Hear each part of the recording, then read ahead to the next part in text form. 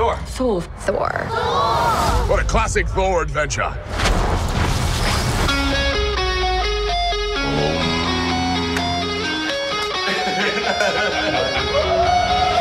this is 10 years for me. I'd have loved every time I played the character. This new film transitions us from Endgame into a rebirth. Thor doesn't know what his place is in the universe. That's represented in his wardrobe as well.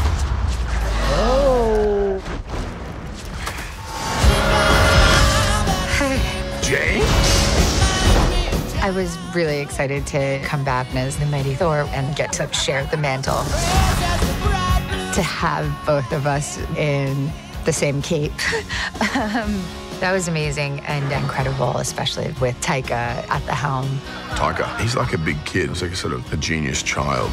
It wasn't afraid to be flamboyant and a bit camp. Giant goats! Look at those! They are wonderful. Yes, they are. He also scream quite a lot.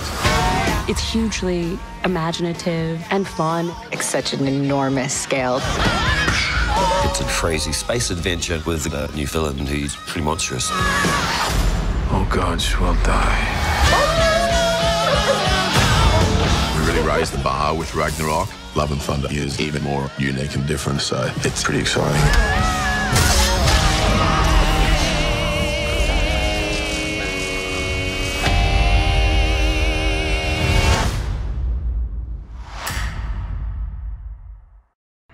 Marvel Studios' Thor Love and Thunder has epic visuals and incredible action, which is why I'm speaking with VFX supervisor Jake Morrison to break it all down. Hey, nice to see you, Jake. Hi there. Lovely to see you. Great to have a chat about the film. Yeah, let's do it. So, there are so many incredible visuals in the film, but I think we should fast forward to one of my favorite moments, which is the Gates of Eternity with some of the most adorable warriors yet in the Marvel Cinematic Universe and some of the most incredible visuals. When you first went to approach that scene, where did you start? Sometimes you start with um, storyboards and then you move into to the previs stuff and you go to the little cartoon people. This one, we just jumped straight into the previs. So we, we knew what we wanted. I talked to Taika extensively about the, the vibe that he wanted. We kind of already had a structure that, that we knew was going to be in there with like, uh, like two and a half minutes. Creative boundaries are actually very good because it focuses you to come up with something unusual in there. Sometimes a blank slate is actually not helpful because it could be anything. But when you know you've got to come up with a fight beat with the kids in two and a half minutes to this song, it actually pushes you uh, creatively to do something that's very focused. So, once you have all of those parameters set, what was it like getting to capture everything on set, especially with all of those adorable kiddos? Taika creates such a family atmosphere on set, but this was like a literal family atmosphere. Like we had everybody's kids there. Uh, Christian's kids in it, Natalie's kids, Chris's kids, Taika's kids, like everybody's in there. They're not fighting against monsters, of course. Uh, they're fighting against, you know, stunt guys in grey suits with the dots on that you see all the time. And the kids all did great. So they learnt their moves. We didn't, you know, they weren't swinging off trampolines. Although, Chris's kid, one of Chris's kids uh, did do what they call a double gainer in wire work, which is a double backflip in mid-air. So uh, there's a there's a chip off the block. It's so fun and just really wildly creative and inventive, and not just in the scene, but in the visual effects. How, after all of these years, do you keep really raising the bar? So when you're working with a director like Taika, who doesn't want you to be in a safe spot, who actually wants you to go out there and kind of like jump off the cliff and kind of like stitch the parachute on the way down. Uh, it's exhilarating and it's terrifying, uh, but it's also super rewarding as the whole thing comes together. The challenge in visual effects nowadays is that the audience are extremely wise. We all see so many cool things all the time, but often that they're using the same building blocks. Effectively, you're seeing stuff put together in the same way that, they that it has been for the last 20 years. The pictures get better, the pictures get more complex, the, the scope and the scale gets bigger, but fundamentally trying to change how you do it to come up with satisfying a vision of an incredibly creatively hungry director like Taika Waititi. It is a challenge in itself. And so he's pushing us to look for the new technologies that we can bring in to allow us for more creative opportunities. Any of the sequences across the picture couldn't have existed if we hadn't taken some huge creative leaps and just kind of I'm sure it's going to work. And, and, and it did. I'm sure it was going to work. I was certain. Yeah, it worked. Okay, thank God. Oh, I'm sure it was a huge relief. But, you know, in order to make things look so new and so fresh, Were there any new technologies or techniques that you explored?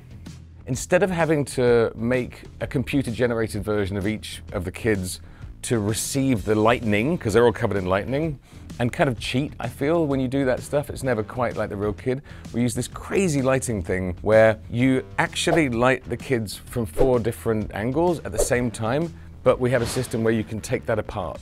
And then you can use any given light. So when, when one of the kids goes and smashes a monster here, and it splats and you get lightning in the face, the, the light that's on the kid's face is really what it would have looked like if that happened, but we were able to choose later on. And Taika wanted us to try and find new technologies and push that stuff forward, and we're proud of that.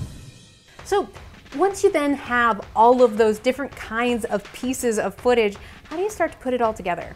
It's actually a very creative process when you get to post with this because you, you effectively, when you're shooting, you have all these different lighting passes, but they're all they're all conjoined. So we do what we call uh, dealing. You take them and you like like a deck of cards you deal them out, and now you've got four, six different layers of light.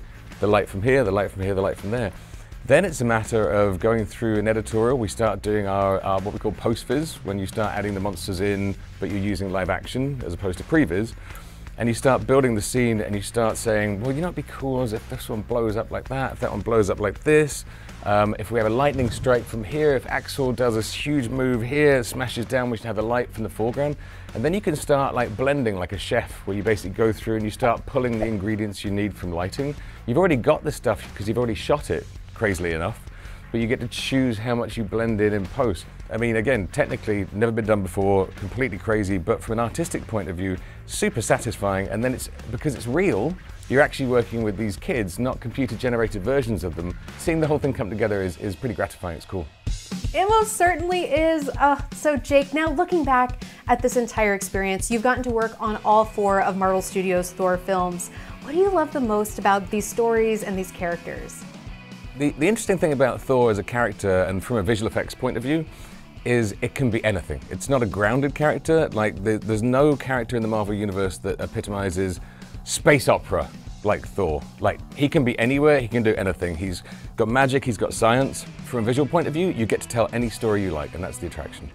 Well, you make it look fun and you make it look incredible. Thank you so much for talking with us, Jake. And of course, everyone, go experience Marvel Studios' Thor Love and Thunder in theaters now.